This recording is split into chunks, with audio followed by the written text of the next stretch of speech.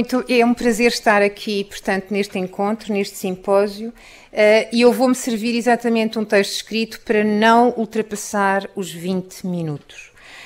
Ora, importa desde já referir que é através uh, da análise de uma obra de finais do século XIX, escrita por Adolfo Loureiro, relativamente à sua viagem de Nápoles à China, que irei, nesta breve reflexão, assinalar o estabelecimento de um paradigma no que concerne as novas rotas marítimas dominantes no Índico e nos mares da Ásia Oriental. Este marcou uma memória histórica finissecular e está indelevelmente ligado à Rota do Cabo, traçada pela primeira viagem de vasta gama no longínquo século XVI para o nosso Adolfo Loureiro.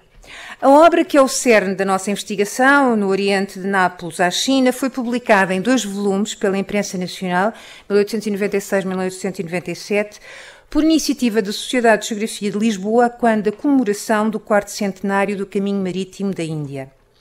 Destaque-se que este propósito comemorativo impõe polissêmicas leituras, as quais, por falta de tempo, não poderei desenvolver.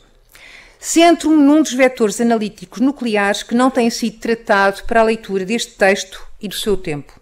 Refirma as rotas de um Oriente que, de imediato, corporizam este discurso este lido numa dupla dimensão, a de genérica direção geográfica e a de um espaço algo idealizado, solo de uma história e de uma memória de uma cultura imaginada que, como Anthony Page recorda, se estende do Bósforo à China. No caso de Adolfo Loureiro, este espaço retrai-se geograficamente, seguindo a rota do vapor, partindo de Nápoles, via Canal de Suez, passando por Aden, Bombaim, Madrasta, uh, Calcutá, Pondicherry, Saigão, Colombo, Hong Kong e Macau.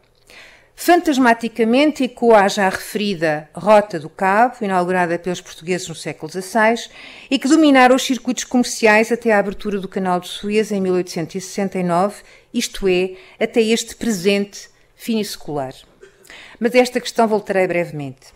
Contudo, de imediato, importa enfatizar como a referida dupla dimensão do Oriente direção versus signo, se plasma claramente no texto de Adolfo Loureiro, isto é, o seu livro expõe o itinerário de uma viagem física, ao mesmo tempo que deambula pelos fragmentos de uma história e de uma memória, onde a reminiscência participa enquanto imagem registada pelo sujeito sobre o acontecimento, sendo dele um signo.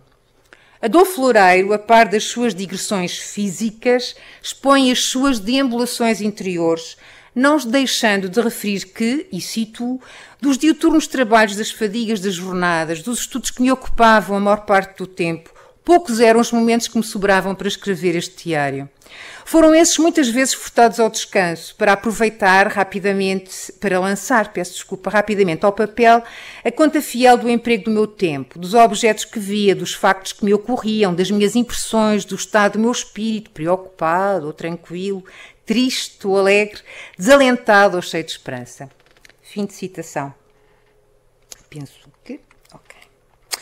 Este diário de viagem, como o próprio autor subintitula a sua obra e estruturalmente a organiza, consubstancia um discurso historiográfico sobre uma presença portuguesa no espaço extra-europeu, atravessando os séculos de um encontro, o que aconteceu a partir da primeira viagem de vasta gama à Índia.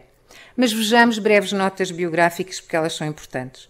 Adolfo Loureiro nasceu em Coimbra a 12 de setembro de 1836, 16 anos depois de ter chegado a Lisboa o navio Conde de Palmela, o primeiro vapor a fazer escala em portos portugueses e com pavilhão português, destinado a fazer a carreira de Lisboa a Santarém. Regressemos a Adolfo Loureiro. Este em 1856, formar-se-ia em matemática, eh, completando dois anos depois, e já em Lisboa, o curso de Estado-Maior, e em 1859 o de Engenharia Civil. Foi exatamente nas obras públicas, nomeadamente nos trabalhos em bacias hidrográficas, que a sua atividade se desenvolveu. A 16 de abril de 1883, Adolfo Loureiro foi ao serviço do Ministério das Obras Públicas incumbido de proceder ao estudo das obras necessárias no Porto de Macau, onde é, aliás, bastante celebrado ainda, devendo comprar em Londres e em Paris os instrumentos que julgasse necessários para efetuar os seus estudos. O então Ministro da Marinha e das Possessões Ultramarinas, José Vicente Barbosa do Bocage, ordenar-lhe-ia igualmente que visitasse alguns portos da Europa e da Ásia, de modo a obter esclarecimentos e informações que pudessem ser usadas em ulteriores comissões. Este é o contexto que nos permite possuirmos hoje, para além da nota de itinerário que efetua o serviço do Ministério que a conhecemos, onde encontramos a breve notação das cidades que visitou e dos encontros que teve com várias entidades, os seus, uma outra obra, o título é Estudos sobre alguns portos comerciais da Europa, Ásia, África e Oceania, sobre diversos serviços concernentes à engenharia civil. Isto sai em 1885. Neste trabalho, que sai cerca de um ano depois de ter regressado a Portugal, ele regressa em agosto de 1884, Adolfo Loureiro amplia as observações compulsadas sobre cada um dos portos visitados, seguindo sempre a mesma estrutura eh, peço desculpa, descritiva. A par de uma breve notícia histórica, hidrográfica e meteorológica, anota o movimento portuário. Este texto permitiria a sua consulta e possível uso nos trabalhos de modernização dos portos portugueses. Mas centremos-nos no itinerário de uma viagem, a que se substanciaria na rota de Nápoles à China, objeto do seu Oriente. Adolfo Loureiro saiu de Coimbra no dia 25 de abril de 1883 em direção a Paris, seguindo para Londres, regressando a Paris, de onde partiria num périplo por vários portos europeus, embarcando por último em Nápoles no dia 26 de julho, com destino à China, Macau mais, mais especificamente. A sua viagem decorre 26 anos depois de o Canal do Suez ter sido inaugurado. Neste circuito portuário extra-europeu, visitaria os portos de Port Said e Suez, Aden, Bombaim, Madrasta, Calcutá, Pondicherry, Saigão, Colombo, Hong Kong e Macau, e Batávia e Prioque. Em Macau, permaneceria durante seis meses e meio, chegando a Lisboa, portanto, regressando a Lisboa, a 2 de agosto, como eu vos tinha dito já há pouco, de 1884. Se o primeiro volume de No Oriente de Nápoles à China, que sai 12 anos após o seu regresso, e no momento em que se comemora o quarto, o quarto centenário do caminho marítimo para a Índia, Adolfo Loureiro sinaliza as impressões escolhidas durante a sua viagem de Nápoles via Suez, direção Bombaim, Hong Kong e Macau. No segundo volume, narrou a permanência no espaço macaense e o périplo pelos portos visitados na viagem de Macau via Singapura, os portos de Batávia, Colombo, Pondicherry, Madrasta, Madrasta e Calcutá, onde apanharia um comboio para Bombaim, regressando via Suez à Europa e depois, portanto, a Lisboa. Ele regressa de novo a Nápoles e depois uh, via, uh, vai, vem para Lisboa. Tomemos a sua partida e o facto de se dirigir a Porto Said via Canal de Suez, portanto, seguindo depois o Canal de Suez, seguindo aquela que é uma nova rota de aproximação da Europa ao espaço asiático, atravessada pelo vapor e pela eficiência do motor composto de alta pressão, o que permitiria encurtar o tempo da viagem. Como escreve a Lincoln Payne, a abertura deste canal, estou-me a referir ao de Suez, e cito, tornou desnecessárias as viagens de 8 mil milhas sem escala, mas sem a eficiência do motor composto, julga-se que nenhum vapor teria conseguido chegar à Índia e muito menos à China, nem sequer via Suez. Fim de citação. Para o sucesso da viagem, para além do uso do navio a vapor e do então inaugurado canal, contribuiria à rapidez das comunicações permitida pelo telégrafo, e aqui refiro-me por cabos submarinos, sendo que um destes cabos submarinos seria colocado no canal de Suez, chegando a Aden e depois prosseguindo até Bombaim. Se o telégrafo terrestre tendia a seguir as linhas de caminho de ferro, os cabos submarinos seguiam as companhias de navegação. Frequentes são as referências de eh, Loureiro ao telégrafo, nomeadamente explicitando como este serve as diferentes rotas marítimas. Ao assinalar a sua, via, a sua entrada no canal de Suez, a bordo do vapor China, o qual teria cerca de 5 mil toneladas e era magnífico, aciadíssimo e com todas as comodidades, segundo as suas palavras, ele declara, e cito, Há no canal um andamento regular, regulamentar que não pode exceder-se e o telégrafo avisa os pontos em que devem cruzar os navios que navegam em sentido oposto. Esses pontos de cruzamento são as estações e o serviço é feito com a regularidade do de um caminho de ferro. São 7 horas da manhã e o China é o primeiro a entrar no canal, seguindo imediatamente uma canhoneira japonesa toda pintada de branco e com um enorme sol dourado à popa. Fim de citação. E a descrição prossegue. O vapor é, ao longo da sua digressão, amplamente sinalizado como o meio que lhe permite o encontro. É assim quando em Hong Kong o toma para ir para Macau, o seu principal destino, como eu já tinha dito há pouco. Loureiro escreve, cito de novo, o vapor que faz a carreira entre Hong Kong e Macau é um bonito vapor de rodas, construído na América, muito cômodo e veloz. Chama-se White Cloud e é todo pintado de branco e dourado. Aqui não vemos as cores. Na primeira e segunda câmara havia poucos uh, passageiros. Na terceira contavam-se 300 a 400 sims que vinham fechados embaixo, incomunicáveis com as outras câmaras, tendo às escotilhas guardas armados. Este aparato bélico, juntamente com os armeiros da sala da primeira classe, cheio de espingardas, revólveres e machados de abordagem, tendo nas armas em grossas letras o aviso de estarem carregadas, despertou-me a curiosidade de saber a razão de semelhantes precauções. Fim de citação. Tal, explico eu, devia-se ao, e explica ele também, devia-se aos ataques que aconteciam naquelas águas. A sua viagem de regresso é um ciclo viajar de vapor em vapor, aproveitando todas as facilidades que este tipo de navio oferece. Ele, o navio a vapor, participa do primeiro e último do primeiro do seu último objeto, o porto.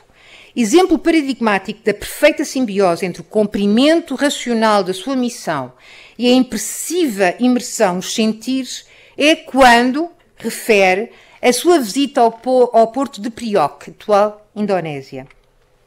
Registre-se que este porto ganhou uma importância estratégica ao receber o tráfico marítimo entre a Europa e o Oceano Índico, quando da rota traçada pela abertura do Canal de Suez. Mas atentamos nas suas palavras.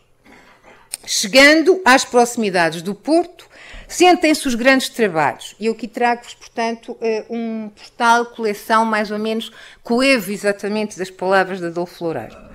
Continuo. Portanto, sentem-se, diz-nos eles, os grandes diz-nos ele, os grandes trabalhos. Adivinham-se os, os grandiosos projetos. São armazéns, vias férreas, montanhas de materiais, máquinas e aparelhos colossais, altas chaminés a despedirem nuvens de fumo, o silvo do vapor, o som compassado do jogo dos êmbolos, e no mar, os barcos, os vapores, as dragas, as docas tubulares para reparação, todo esse conjunto de coisas que denota os grandes empreendimentos em que a ciência do engenheiro, na época contemporânea, tem sabido mudar a face da Terra e multiplicar essas espantosas criações com que a humanidade tanto tem lucrado. Fim de citação.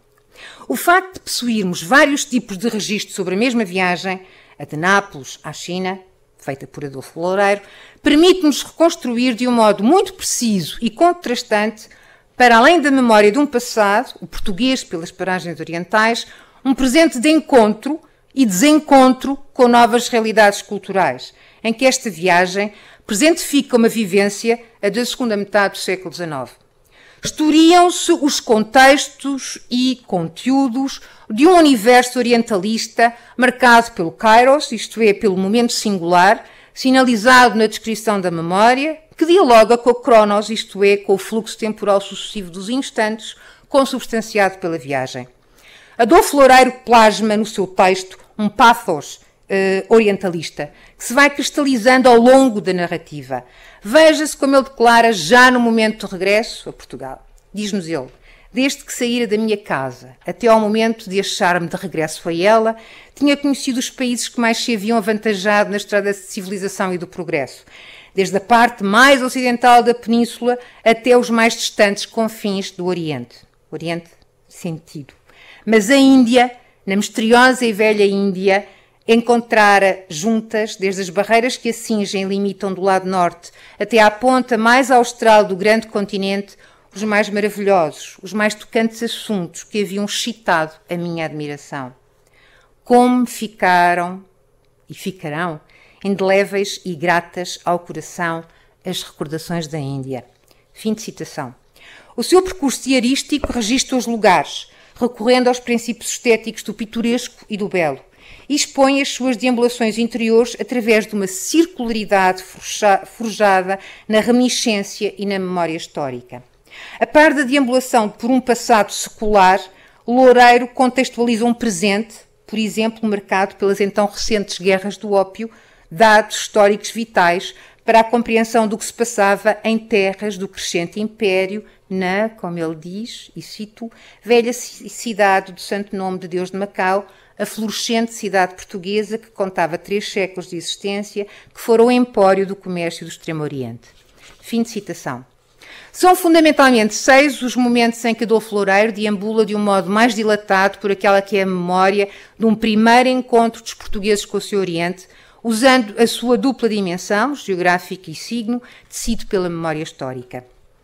Tal acontece nas duas vezes em que se encontra em Aden, no seu estar em Bombaim, Hong Kong, Macau e Madrasta. Aliás, ao longo do texto, faz incursões sobre o passado imperial europeu.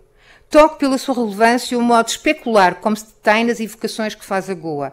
É através do confronto das capitais imperiais, aquela onde Adolfo Loureiro permanece, Bombaim, onde aguardava a sua partida para Hong Kong, e a sua Goa, que ele não consegue visitar porque, como diz, escreve, a moção do Sudoeste formou na Barra de Goa um banco de areia que impediu o ingresso no rio.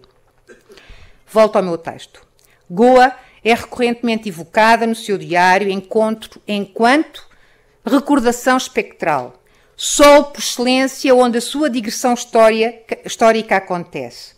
Esta é para Adolfo Loureiro a capital do grande império do Oriente, concebido pelo, como ele classifica imortal Afonso de Albuquerque. A cidade estava agora, segundo ele, algo abandonada e desprotegida, contrastando o seu luminoso passado com um sombrio presente. Adolfo Loureiro expõe a intenção e intencionalidades históricas, onde necessariamente intervém a memória de um presente histórico, que participa de um percurso de sacralização da recordação, na qual emergem vários arquétipos, como os Gama, o Pacheco, ou os Castro. As sucessivas referências à viagem gâmica é disso exemplo.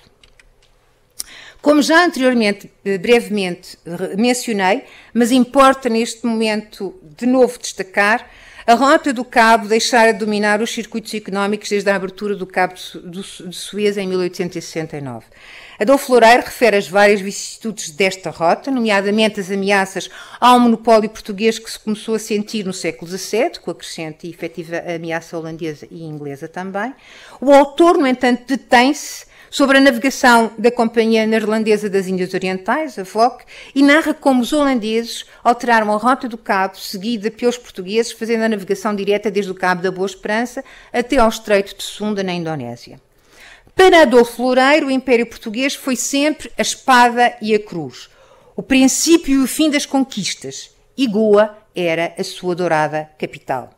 Este era o império que no século XVI estabelecia por, e ele diz, toda a região do Malabar, no Estreito de Malaca, no Golfo Pérsico e em toda a orla marítima até às portas do Mar Vermelho. Malaca, como ele diz, que era o empório das melhores especiarias das Molucas, de Sumatra, de Bornéu e das ilhas da Oceania até Timor, e dos ricos produtos da China, do Japão e do Sião, Ceilão, a ilha dos rubins, da canela dos elefantes, Coxim, Calcute, Mangalore, Goa, Shaul e as enunciações prosseguem.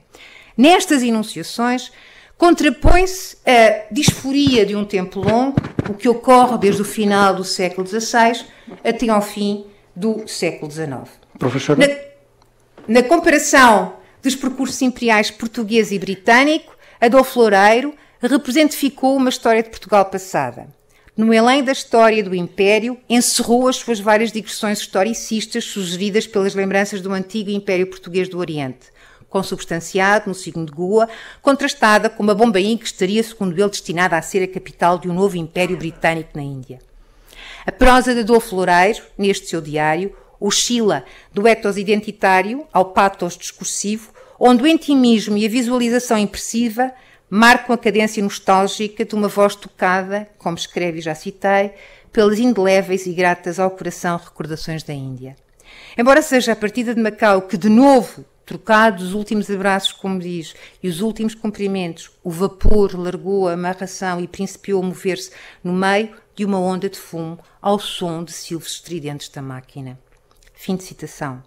Neste regresso a casa, estou mesmo a terminar, encerra-se um círculo, deixando a do floreiro para trás, um nostálgico Oriente, que, apesar de tudo, lhe enviou, como ele escreve, doces e fagueiras esperanças e risonhos presságios nos seus raios luminosos.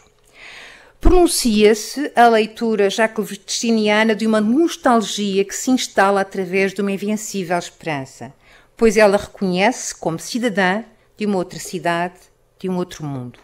Enfim, este foi aquele Oriente, signo de um glorioso passado, direção possível para um melhor futuro, em que novas rotas foram e são traçadas pela ação dos homens. Muito obrigada.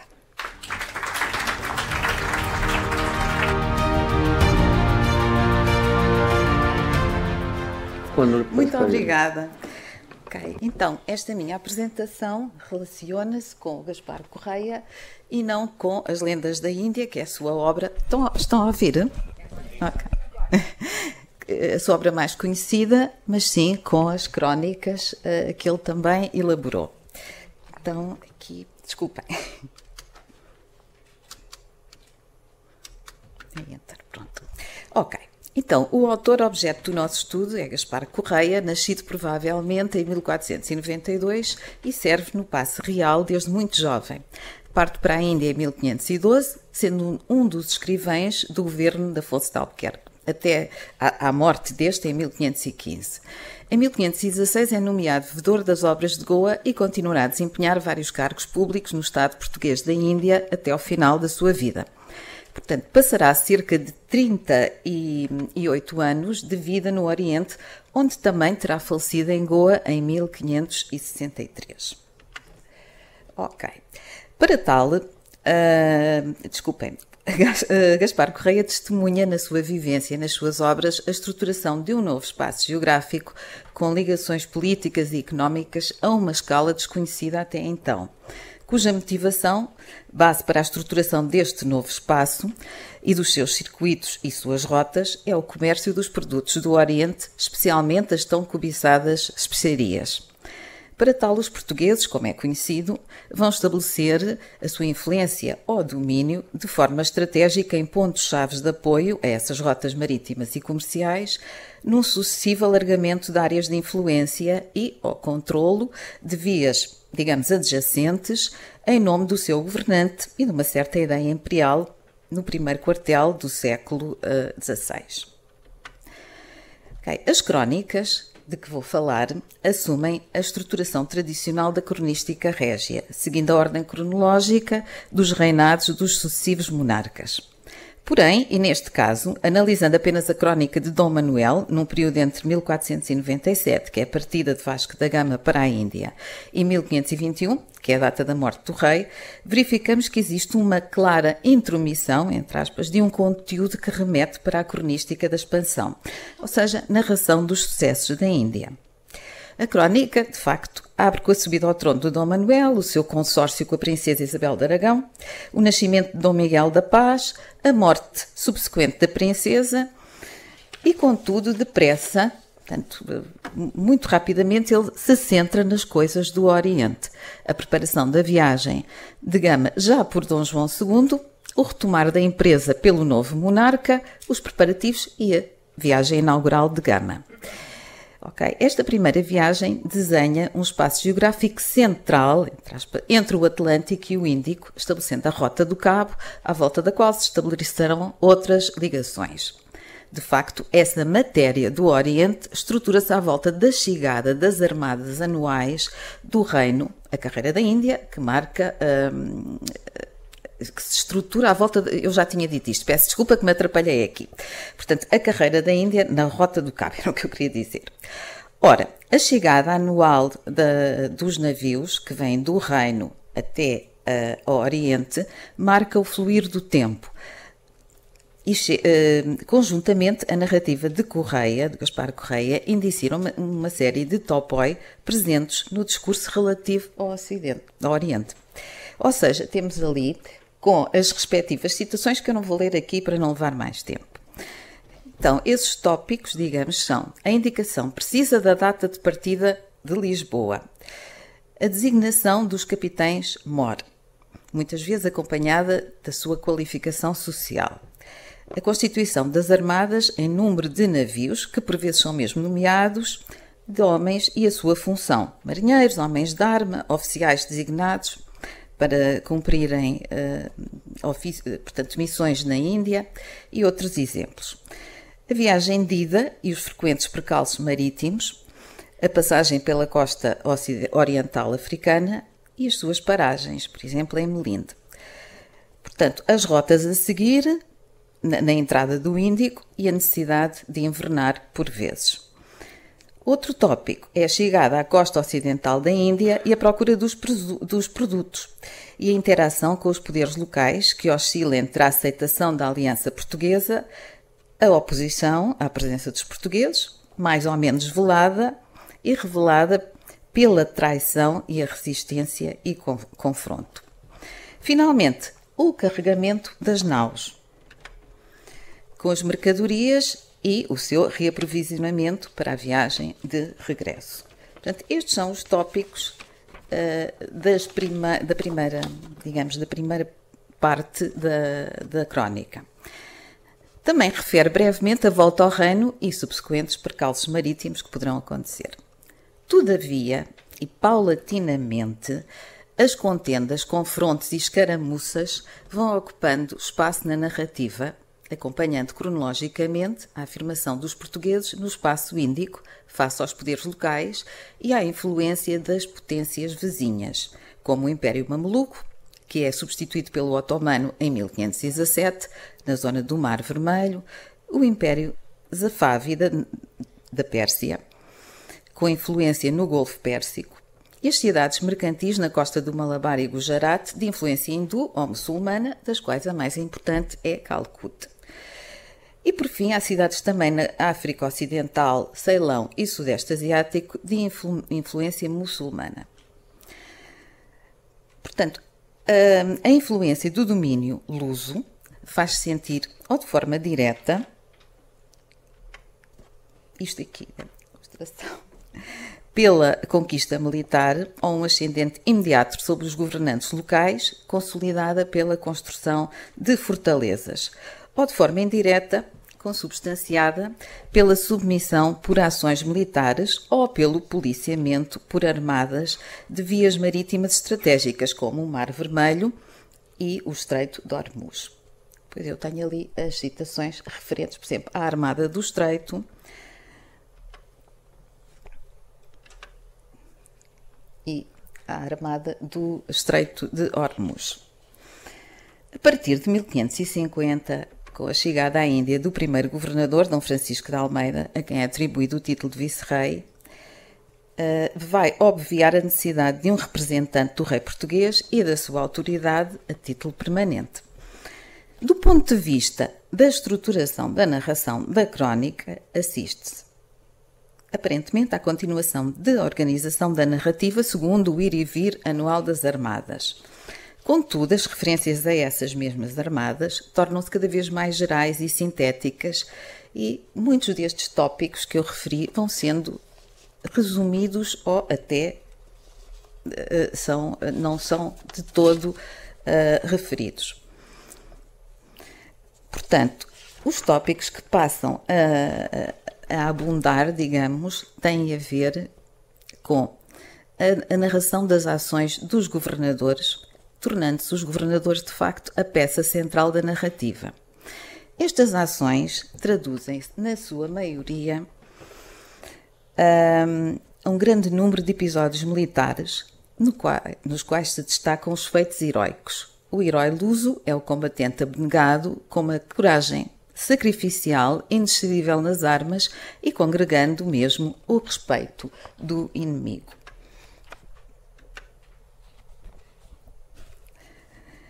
Por outro lado, as ações dos governadores traduzem-se também em deslocações constantes entre os pontos de apoio que se vão estruturando à presença portuguesa e a locais onde ela é imposta pela força de armas. também é referida na edificação de fortalezas e a nomeação dos seus capitães, que consolidam uma ocupação espacial, mas também simbólica. Através do texto de Correia, constatamos, concomitantemente, o constante alargamento da área de influência lusa, a construção de uma fortaleza em Colombo, no Ceilão, os contactos e envio de uma embaixada em 1520 ao reino etíope, que, que, era identificado como o reino do Preste João, a referência à vinda de navios e de um representante do rei com destino aos mares da China.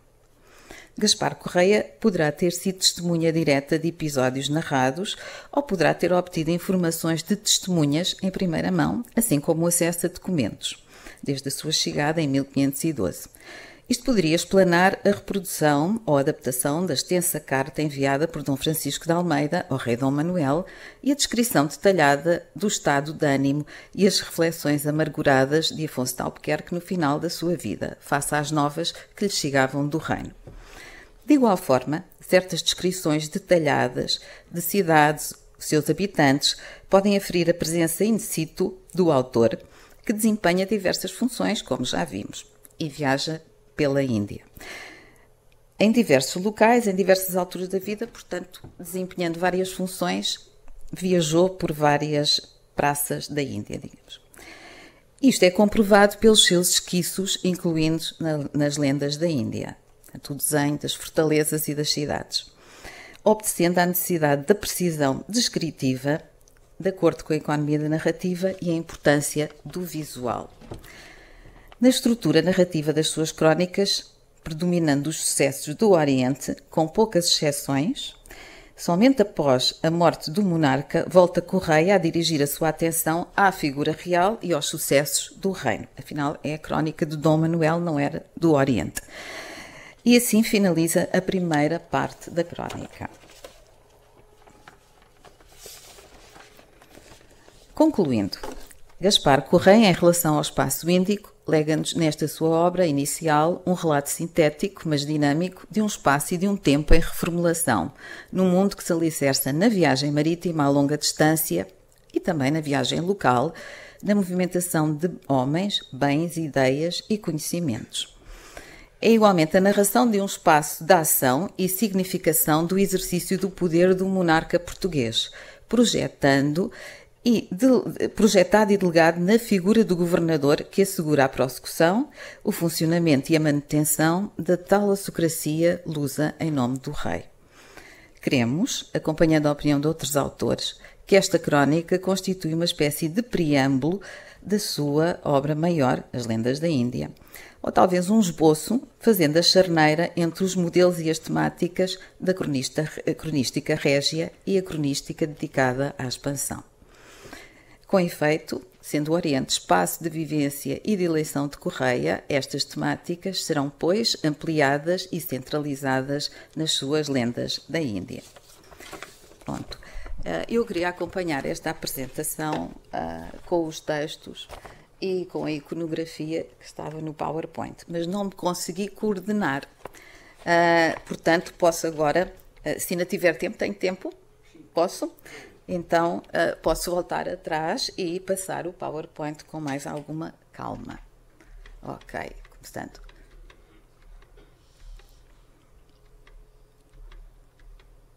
Pronto, vamos começar por aqui.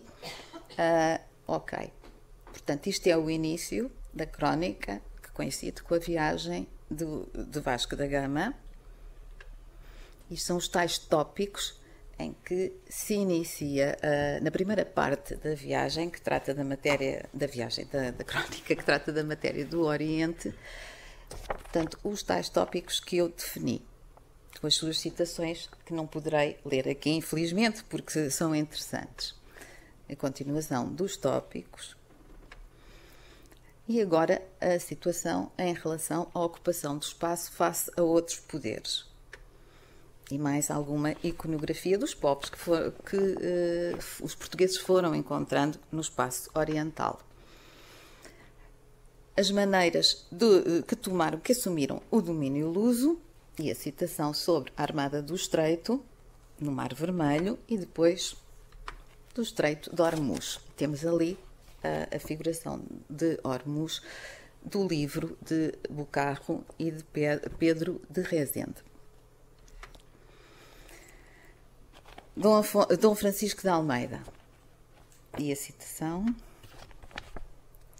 A organização segundo o ir e vir anual das Armadas, mas o espaço crescente ocupado pela narração dos feitos dos governadores e as suas tarefas, digamos assim, suas tarefas, os episódios militares, as deslocações, muitas vezes também no âmbito desses episódios, e a edificação de fortalezas e nomeação dos capitães, seguindo as ordens que lhe vinham do reino.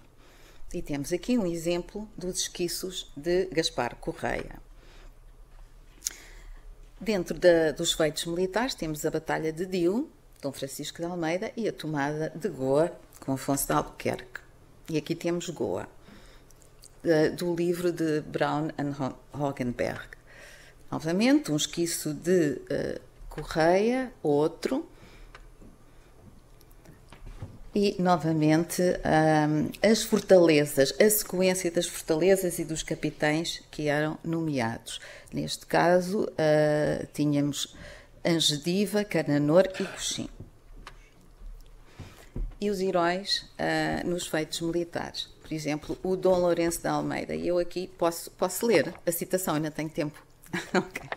O Dom Lourenço foi certo e visto que pelejou com uma alabarda nas mãos, de que era grande servidor, tanto e matou tantos que punha em grande espanto e maravilha aos contrários, que ficando só por derradeiro, lhe bradavam muitos dos rumes, eh, os turcos, Senhor cavaleiro, dá-vos e não querais morrer como bruto, pois Deus vos fez tão valente cavaleiro, mas ele por nada deu.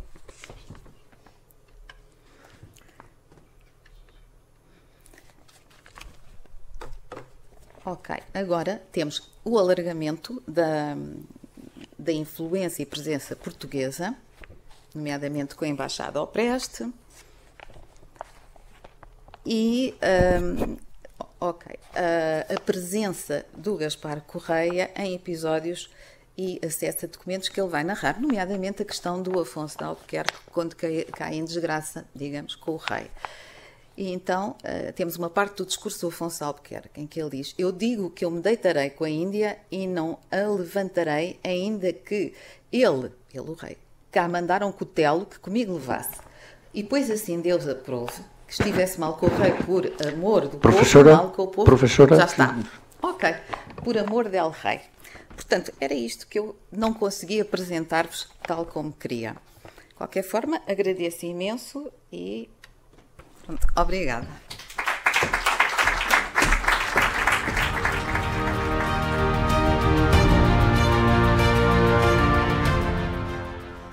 Boa tarde a todos, excelentíssimo Senhor Presidente da Academia da Marinha, eh, caros acadêmicos e colegas. É um gosto estar aqui esta tarde para partilhar convosco esta apresentação.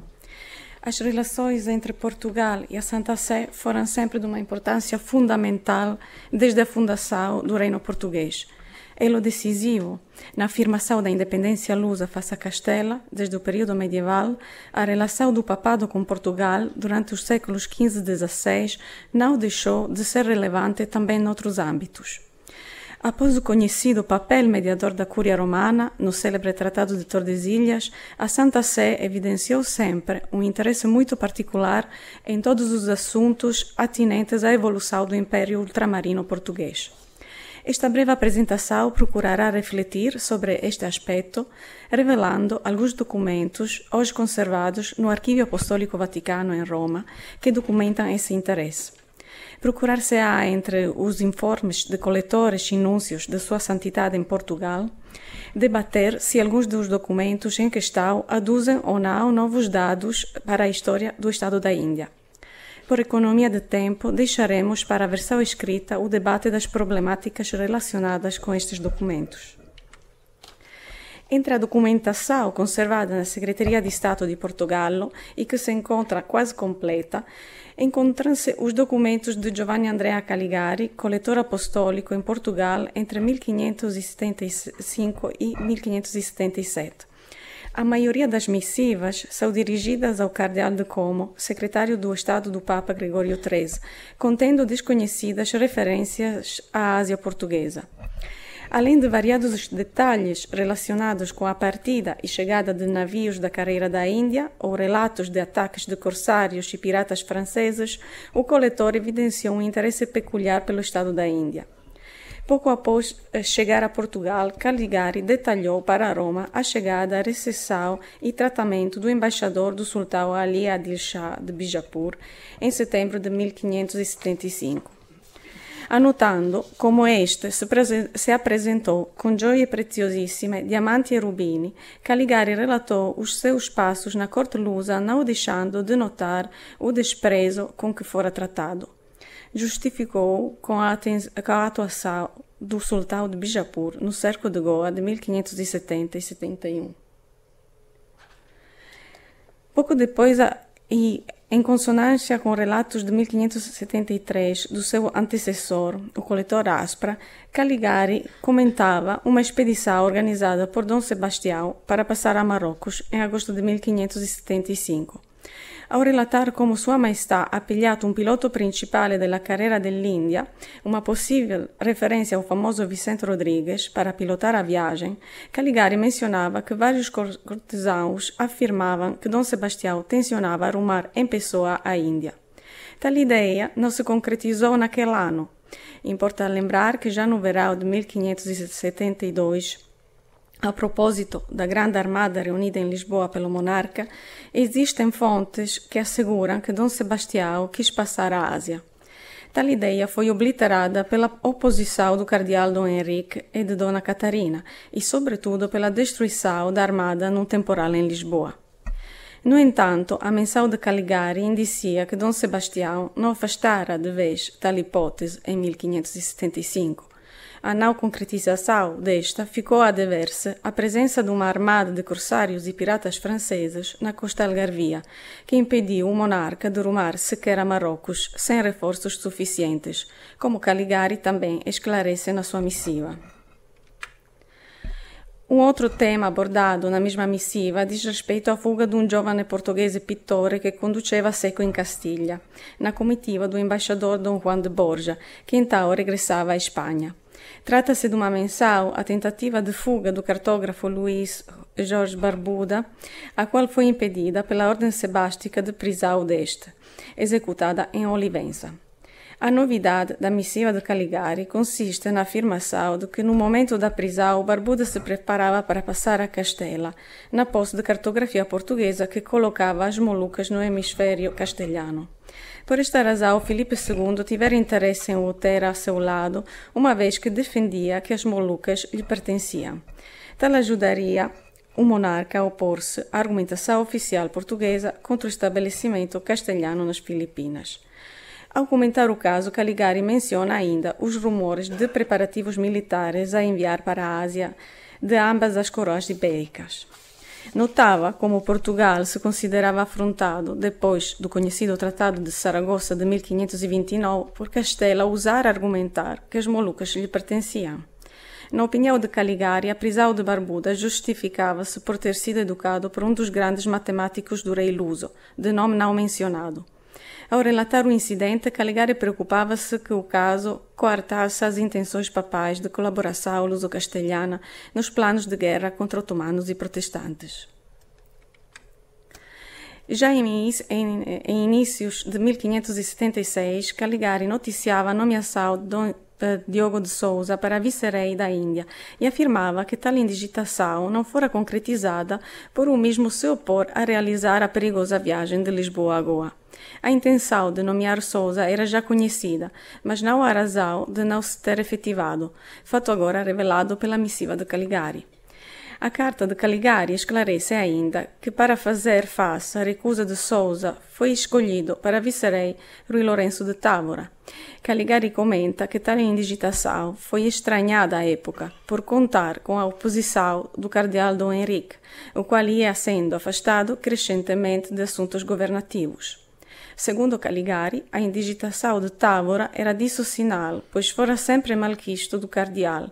Mas os amigos Pedro, eh, mas os seus amigos Pedro de Alcáçova Carneiro e Francisco de Sá de Menezes tinham conseguido impor a sua nomeação, após o afastamento do poder de Martim Gonçalves da Câmara. Porém, Caligari esteve bem mais atento. Em abril de 1576, não tanto a partida de Távora, em esquadra de quatro navios, mas a vinda de Almeirim para Belém de Dom Sebastião. A intenção oreja era de fazer partir a conhecida armada de Matias de Albuquerque, indigitado para viajar diretamente de Lisboa para Malaca, para libertar do cerco Hashem. Caligari comenta a missão secreta de Albuquerque após o fim daquele cerco rumar as Molucas para as reclamar plenamente para Portugal. O coletor afirma mesmo que os portugueses eram muito zelosos daquela conquista e que, sabendo da partida de Albuquerque, Filipe II preparava grossa armada para reagir às intenções lusas. De novo, pela forma como comenta o caso, Caligari preocupa-se com os efeitos europeus que a disputa luso-castelhana na Ásia podia ter nos planos de Roma. Tal sucedia no momento em que havia quem aconselhasse Dom Sebastião a declarar a guerra a Filipe II. Sinal das tensões era ainda a criação por Dom Sebastião, em fevereiro de 1576, de um conselho de guerra especial e secreto. Era este composto pelo que Caligari classifica como os quatro grandes militares e cortesãos do reino de então: Dom Luís de Ataíde, Dom João Mascarenhas, Francisco de Sá de Menezes e Pedro de Alcáçova Carneiro. Não admira, por isso, que o coletor permanecesse sempre atento a todos os informes sobre a Ásia Portuguesa, quando, em finais de 1576, chegaram a Lisboa as novas da morte do vice-rei Rui Lourenço de Távora, em Moçambique, Caligari preocupou-se com os 500 mortos, entre 700 embarcados em Goa, a bordo de uma das naus que regressara a Lisboa. Ficou ainda ansioso ante a incerteza se Malaca ainda ostentava a bandeira lusa. Quando, dias depois, chegou a nova de que o cerco a Shem fora debelado, Caligari não escondia o seu alívio. Porém, poucos depois, este entrevistou Horácio, um soldado milanês que acabara de regressar de Goa, com um relato da situação do estado da Índia. O relato escrito em italiano é longo, pelo que apenas referiremos os aspectos principais. Professora, ¿le va a dejar espacio a su compañero? Sí, claro. Bueno. Cativo nas guerras do Mediterrâneo, em 1570, Horácio fugira do, car uh, do cárcere otomano para Ormus. Dali seguira para Goa, onde embarcou para Lisboa. O relato do soldado abordava a governação de Antônio Muniz Barreto. Acusado de perseguir os soldados em Goa, que fugiam para Bijapur, preferiam fazer-se muçulmanos ou judeus, o relato de Horácio detalhava como Muniz Barreto non soccorrera Malacca e che tanta la strettezza da pocaggine del viceré che udito l'assedio non gli ha mandato mai per soccorso altro che una galera con due fuste. Devido à resistência do governador em socorrer Ormus, ameaçada pela armada otomana, o arcebispo de Goa, Dom Gaspar de Leão Pereira, vira-se forçado a anunciar a sua ida a Ormus para forçar a partida de socorros para o Golfo Pérsico. A tal juntavam-se os relatos dos cercos preparados pelo sultão de Bijapur e pelo Samorim de Calicut, bem como uma difícil situação financeira agravada pela sede de poder do governador. O informe lamentava a morte do vice-rei Távora em Moçambique, esperando que Dom Sebastião obviasse a situação, pois se Malaca fosse perdida, não se manteriam as relações com as Molucas, China e Japão. O relato inédito é mais um dos testemunhos já conhecidos contra a governação de, Antônio Muniz Barreto e ajuda ainda a explicar a atenção que Caligari votou à figura de Dom Luís Chataid, o vice-rei da Índia, indigitado por Dom Sebastião para pôr fim a tais abusos. Após noticiar com alguma ansiedade os percalços vividos pela Armada da Índia em março e abril de 1577 na sua partida do Tejo, Caligari comentou com incontida felicidade, em agosto de 1577, a decisão sebástica de nomear Ataíde vice-rei da Índia. No relato de Caligari surgem as menções já conhecidas do prestígio militar da Taíde, que Dom Sebastião tinha nomeado para general da expedição a Marrocos, mas que decidiria enviar então para a Ásia face à desafiante situação que ali se vivia, premiando o fidalgo com o tão almejado restaurado título de Conde da Toguia. Caligari afirmava que a sua indigitação fora amplamente aplaudida por todos em Portugal e que Ataíde fora indigitado vice-rei por nove anos. Tal menção está ausente de outras fontes, como a carta de nomeação de vice-rei de Ataíde. Ela é relevante por demonstrar como, em 1584, quando Dom Filipe I nomeou vice-rei Dom Duarte Menezes para pelo menos dois mandatos consecutivos que não foram executados pela sua morte, e, sobretudo, quando em 1591 indigitou Matias de Albuquerque para seis anos de mandato, se tratava apenas de retomar um plano original de Dom Sebastião, reformar a Índia com recurso a mandatos vice-reais mais longos. A importância da missão conferida a Taíde não escapou também ao sucessor de Caligari em Portugal, o coletor Roberto Fontana, em funções entre 1577 e 1579. Bem mais discreto e contido nos seus informes que o seu antecessor, Fontana, logo nas primeiras missivas de setembro de 1577, confirma os poderes extraordinários conferidos a Ataíde. Comentando a sua partida, Fontana narra um ambiente de consternação na corte lusa, com a notícia da perda da fortaleza de Ternate nas Molucas e, sobretudo, com as novas de que Bijapur e Calicut preparavam nova liga contra o Estado da Índia. Em Portugal, comentava-se que essa era a vingança do sultão de Bijapur pela forma como seu embaixador fora tratado por Dom Sebastião quando vier a Lisboa. Mas havia esperança que o vice-rei, antes de derrotar aquele sultão, repetisse a façanha. Fontana justificava ainda a pressa de fazer partir a Taíde com o desejo régio de prender o governador Muniz Barreto, o qual era tal que se dizia que antes de Ataíde chegar, Muniz Barreto fugiria para o turco ou far-se-ia Moro para evadir-se à ira de Dom Sebastião, que não hesitaria pessoalmente em matá-lo. O relato de Fontana alinha com outras fontes históricas da época. A expectativa de Fontana e mesmo da Cúria Romana em Ataíde surge bem plasmada noutros documentos. Por alguns destes, é revelado que Fontana falara com Ataíde antes deste partir e lhe encomendara, em nome do Papa Gregório XIII, a proteção do soberano, soberano ceilonês Dharmapala, rei de Cote. Fontana refere o caso a propósito da chegada a Lisboa de um enviado daquele soberano em outubro de 1578. Circulando já então rumores de uma grande vitória portuguesa contra um poderoso soberano asiático, Fontana apressou-se a obter detalhes junto daquele enviado. Provavelmente terá sido por via deste que remeteu o informe para Roma de como o sultão Ali Adil Shah consultara os seus astrólogos quando avistara o cometa de 1578 em plena guerra contra o vice-rei Ataíde. Após detalhar os pareceres que o sultão recebeu e as medidas que tomou, noutra missiva, Fontana relatava com incontido alívio a vitória de Ataíde contra aquele sultão. Mas, enquanto o coletor de sua santidade relatava tais informações, empenhava-se também em comprometer o cardeal-rei e o secretário Miguel de Moura a socorrerem Dharmapala contra o, contra o, o seu inimigo Mayadun, soberano de Sitavaca. Nos papéis de Fontana encontra-se uma tradução italiana de uma carta em português de Dharmapala ao Papa Gregório XIII de 1574, na qual este implorava a proteção da Santa Sé contra Mayadun. Em resposta, em 1578, o Papa enviava bulas a ordenar ao Cardeal-Rei a proteção daquele soberano cristão, tendo encarregue Fontana de garantir que estas partiriam na Armada da Índia de 1579 em conjunção com outras ordens papais referentes aos cristãos de São Tomé e ao arcebispo arménio Mar Abraham. Estas missivas revelam que Fontana falara com Ataíde antes de partir para o comprometer a socorrer Dharmapala e que depois disso a sua pressão foi fundamental para as ordens emanadas pelo Cardeal-Rei e pelo Secretário Moura no mesmo sentido ao Vice-Rei em 1579. Um outro facto de capital importância motivou todas as diligências e sucesso nelas de Fontana. A partida dos novos bispos de Cochin, Malaca e China na Armada da Índia de 1579. Uma série de documentos esparsos demonstra ainda como o Papa Gregório XIII trocava correspondência com o Rajá de Coxim. Data de janeiro de 1576, uma carta traduzida do, do, português para italiano daquele soberano ao Papa, lembrando que, apesar de não ser batizado, tudo fazia em prol da cristandade do Malabar e atestando o bom catolicismo do arcebispo arménio Mar Abraham, que fora convocado ao Concílio Provincial de Goa de 1575 por causa do seu papel na relação com os cristãos de São Tomé.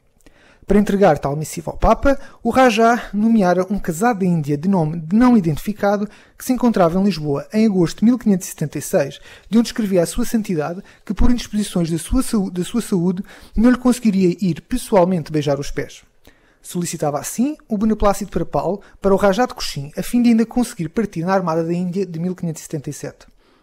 Apesar de se desconhecer a resposta formal de Gregório XIII, já em janeiro de 1579, o Rajá se lhe dirigia para o informar que transmitira ao arcebispo Mar Abraham a ordem papal para autorizar a entrada dos jesuítas junto dos cristãos de São Tomé que tutelava. Em janeiro de 1581, o Rajá voltava a escrever a Roma para solicitar a sua intervenção, a fim de assegurar que o seu direito a arrecadar a gibela no porto de Coxim fosse respeitado pelas autoridades portuguesas, uma vez que nem o governador Muniz Barreto nem o vice-rei Ataíde o faziam. O assunto motivou ainda a missiva do arcebispo Mar Abraham ao Papa para o informar como colaborava sempre com o bispo de Coxim e arcebispo de Goa e a solicitar também a sua intervenção para que o rei de Portugal ordenasse ao vice-rei Ataíde a resolução do caso. Em ambas as missivas, a preocupação que a crise dinástica lusa impedisse a resolução do diferendo é óbvia. A continuidade das comunicações da Cúria Romana com bispos asiáticos na década de 1590 é ainda passível de estudo com o recurso a um volume de correspondência dos arcebispos, onde se encontram missivas dos conhecidos Dom João Ribargaio, bispo de Malaca, ou de Dom Frei Aleixo de Menezes, arcebispo de Goa. A terminar esta breve apresentação, é importante mencionar duas surpreendentes referências de Monsenhor Taverna, núncio papal em Portugal entre 1596 e 1598, relativas à Ásia Portuguesa.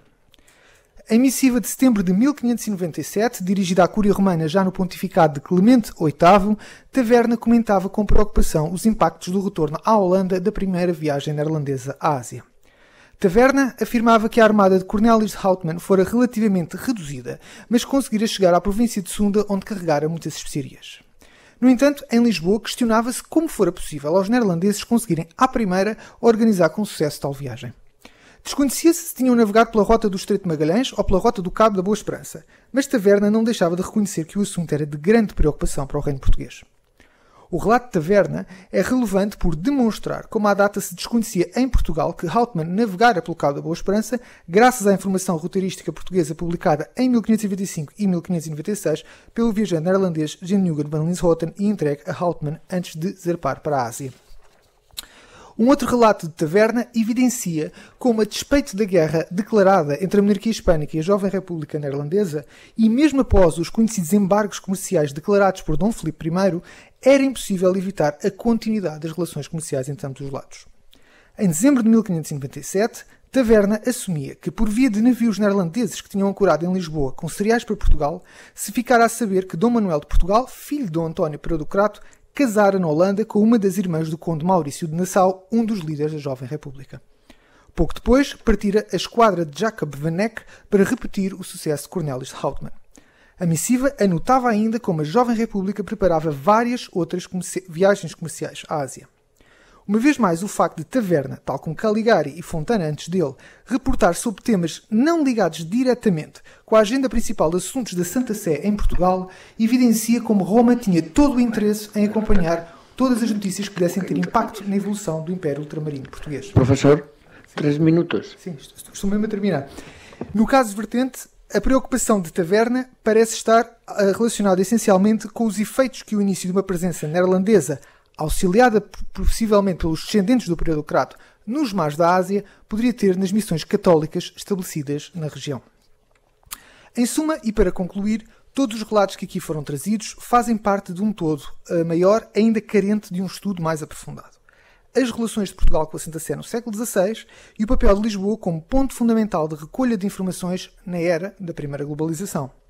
Se à partida é bem conhecida e reconhecida a importância das relações diplomáticas de Portugal com a Santa Sé, bem menos se conhece sobre como essas relações foram apreendidas e usadas pela Santa Sé para delinear as diretrizes gerais da sua atuação na Europa e fora dela.